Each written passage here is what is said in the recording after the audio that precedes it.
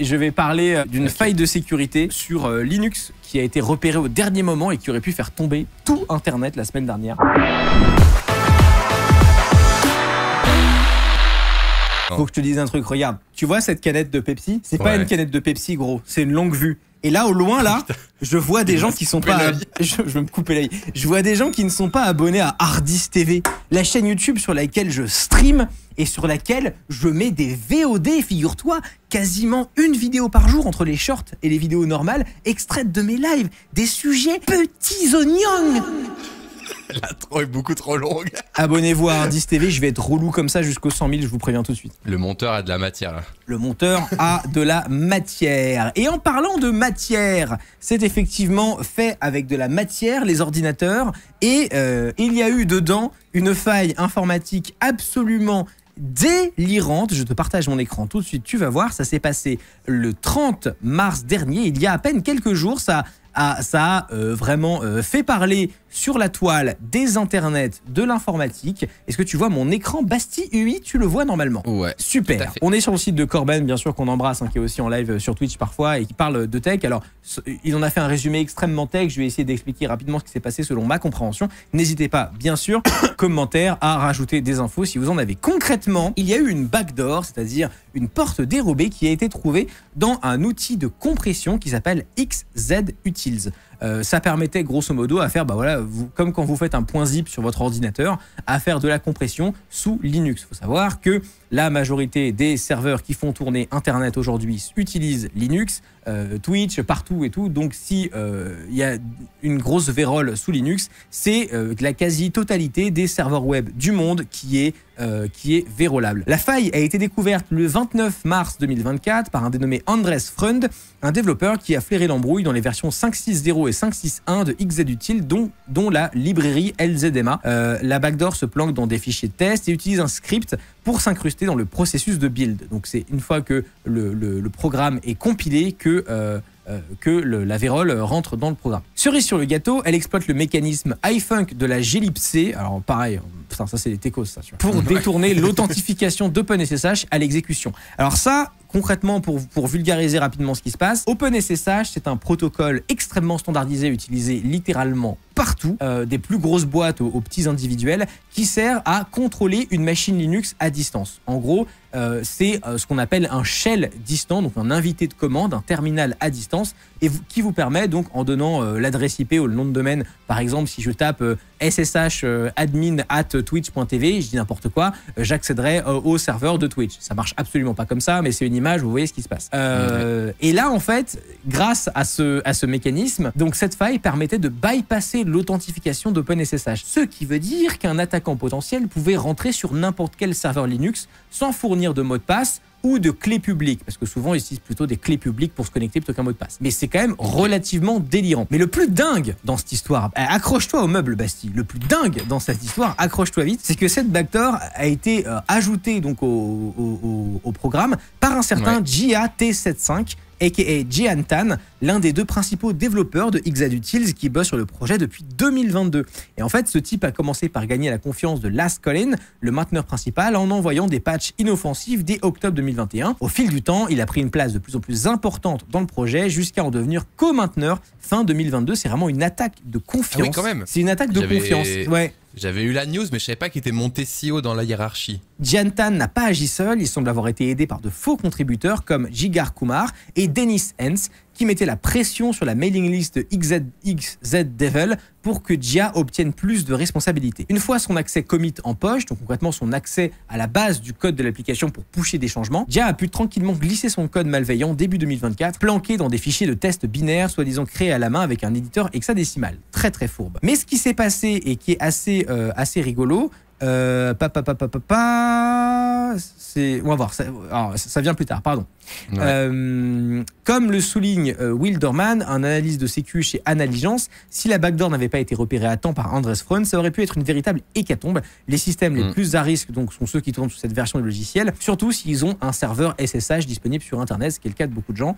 Et là, c'est Defcon 1, il faut mettre à jour tout de suite, maintenant. Euh, pour les autres, pas de panique, mais vaut mieux jouer la prudence et updater quand même FISA. Mais ce qui est assez intéressant, Ouais. Ça a été repéré par un ingénieur de chez Microsoft euh, qui, du coup, en fait, faisait tourner la dernière version de, de SSH et avait repéré que SSH était lent. Et en fait, pourquoi SSH était lent? Parce qu'en fait, il y avait tout ce code malveillant qui tournait et qui ralentissait le fonctionnement des SSH. S'il n'y avait pas eu un turbo nerd pour se dire euh, il est lent, le- il est lent l'ordinateur, euh, littéralement, cette faille aurait pu durer pendant très longtemps, il aurait pu foutre la merde. Voilà. J'ai essayé de résumer, j'ai essayé de vulgariser, c'est pas parfait. On va attraper ma veste sur plein de détails techniques, mais voilà en gros ce qui s'est passé et ce qu'il faut savoir. Mais ce qui est très très drôle, c'est que le mec, littéralement POV, il se lève le matin avec son café, il compile le truc et se dit ça prend une demi-seconde de plus à compiler que d'hab. Non, c'était pendant l'exécution, je crois. Où il est en Ouais, mode. mais c'est. Ouais, je le fais tourner et c'est long. Bah ouais, le moi, ralentissement était de 500 millisecondes, c'est ça, ouais. Ouais, ça. Donc une demi-seconde. Donc le gars, il fait son petit truc du matin. Il compile son truc habituel, exécute. C'est un peu plus long. Mais vraiment, genre le gars, c'est un peu plus long. Je vais re-review le code, mais c'est un génie. Mais oui, parce qu'il y a mille façons où il aurait pu passer outre. Il aurait pu se dire, oh, c'est long, basta. Il aurait pu se dire, oh, ils ont, ils ont changé quelque chose dans le programme, ils ont ajouté une fonctionnalité, donc c'est un peu plus long. Ils auraient pu se dire mille trucs, mais Et non. surtout pas s'en rendre compte. Je veux dire, moi, quand mon ordi est lent, il est lent. Hein. C'est pas 50 Mais sur- surtout, ça, 500 ça, ouvre la porte à une discussion sur laquelle je veux bien ton avis et l'avis de ton chat pour, pour clôturer un peu cette émission.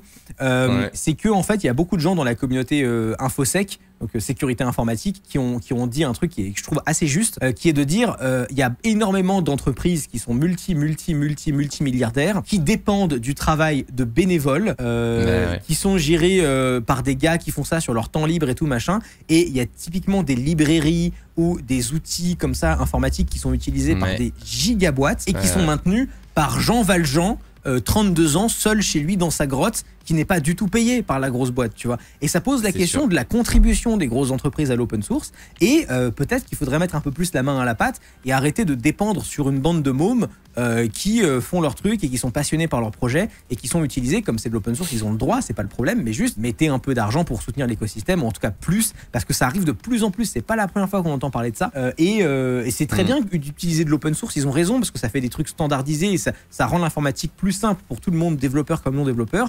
Mais mettez un peu la main à la poche parce que là vous dépendez trop d'indépendants. Mais je ne suis pas mi-code ni Mathieu Lambda, mais il faut pas confondre open source et euh, gratuit. C'est-à-dire que un logiciel où les gens sont payés pour travailler dessus peut être open source, on est d'accord. C'est-à-dire que c'est pas la même chose. Tout à fait. Donc, euh, comme tu le dis, faut pas croire que c'est que du bénévolat l'open source. C'est-à-dire que l'open source, c'est juste une façon de partager son travail et son code de façon 100% euh, Bah, transparente en fait, et visible. ce qui se passe très souvent, de moi ce que je connais, c'est que so- soit les entreprises font des dons à l'open source tous les ans. Donc ils le font déjà, hein, Microsoft, euh, Adobe et tout font des dons souvent à des fondations et tout qui financent des développeurs. Euh, soit ce qui se passe, c'est ce qui se vend beaucoup, c'est du support. Que par exemple, une, une librairie très connue va être reprise par Microsoft ou je ne sais qui, et Microsoft va dire ah cette librairie, il faut qu'on la modifie pour que machin et tout. On n'a pas envie de mettre un développeur interne dessus, et donc ils vont Mm. payer le projet originel pour dire tiens ta librairie, elle est bien, tu peux ajouter ça, ça et ça pour nos besoins à nous perso. Le développeur est payé pour maintenir une version Microsoft ça. de sa librairie qui machin Mm. et tout.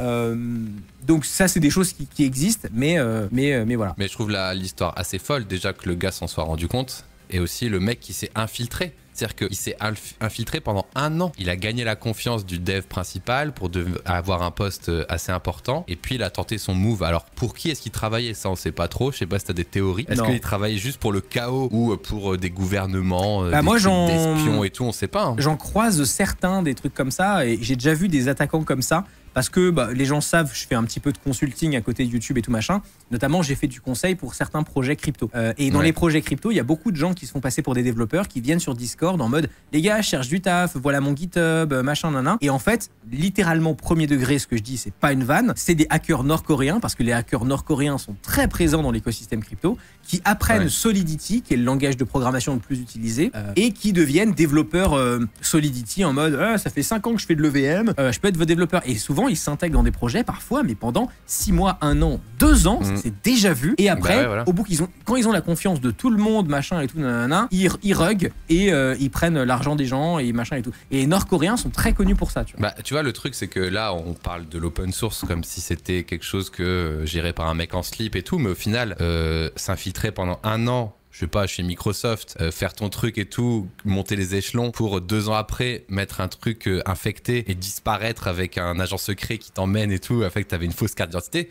C'est aussi possible, tu vois. Donc euh, c'est juste des trucs qui peuvent arriver. Mais surtout à que c'est très pratique quoi. parce que du coup, là, si cette personne avait réussi, s'il n'y avait pas eu un ingénieur complètement taré chez Microsoft qui l'avait vu, en gros, cette Ouais. personne qui travaillait pour je ne sais quel euh, agent gouvernemental ou je ne sais quel euh, réseau de pirates Ouais. aurait eu accès à tous les serveurs Linux du monde quasiment. Donc euh, pour lui, c'était un jackpot. Quoi. Alors ça aurait été quoi les, les conséquences si le mec euh, en slip l'avait pas vu là? Ah mais absolument énorme. Déjà, on aurait pu éteindre littéralement tous les serveurs de partout. Qu'on aurait pu down Twitch, Amazon, tout ce que tu veux instantanément. Et surtout, la deuxième chose, qui est encore pire, ils auraient pu euh, rentrer dans n'importe quel système informatique de grosses boîtes et voler des données, ou encore Mhm. pire, laisser d'autres backdoors dans ces systèmes pour pouvoir revenir. Imagine qu'ils vérolent tout le ouais. système d'Amazon et qu'ils restent dedans pendant des années, même quand ce truc aurait été patché, tu vois, s'ils Bah ouais. s'ils ont pas été s'ils se font pas trouver. Euh, donc en fait, euh, ça aurait pu être mais cataclysmique. Et ça aurait pu être faire du, de la rançon et trucs comme ça quoi. Ça aurait Ouais. pu euh, casser internet finalement. Littéralement, ça aurait pu casser Internet. Et est-ce que ce mec est traqué? Est-ce que ce mec avait des infos perso? Est-ce qu'il avait full créé un faux compte pour Actuellement, euh, on n'a pas d'informations et si c'est un acteur gouvernemental, ce qui moi est ma théorie personnelle, parce que c'est ce que j'ai déjà vu et c'est ce qui est le plus probable, euh, je Mm. pense qu'on n'en saura, on n'en saura pas plus. Il est dans un bureau en Corée du Nord et, et il y restera, tu vois. Ok, j'espère que ça n'arrivera plus bien sûr. Ça fait un peu flipper mais bon. Tout à fait.